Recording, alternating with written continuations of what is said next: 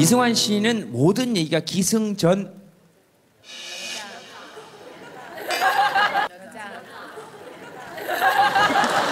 여자를 좋아하십니까? 네, 네, 네.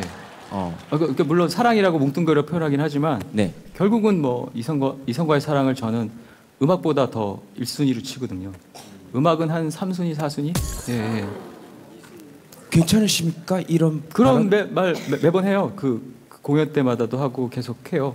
어. 예, 예. 음악이 1순위였다면 음악에 치여서 아마 제가 음악을 즐기지 못했을 것 같고, 예. 어, 우리 밴드들한테 물어봐도 우리가 처음에 음악을 하- 시작하게 된 동기는 네. 음악하는 친구들 다 비슷해요. 나- 매 분마다 생각하는 것 같아요. 예. 지금 얘기하는 도중에도 잠시 좋아하는 이성을 떠올렸었어요. 예. 요즘 좋아하는 이성 누구 있으신지 아 그건 나만의 비밀. 그건 나만의 비밀.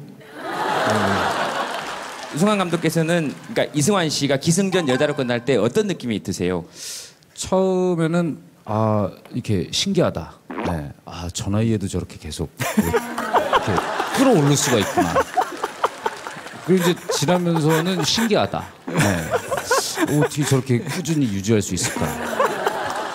그리고는 좀 지나면 약간 그 존경심이 생겨요. 그 일관성에 계속 그 그다음 지나면 안쓰럽다. 네, 사람이 예, 좀안 됐다. 예. 그 이제 지금은 예, 저도 그냥 그러려니 단계로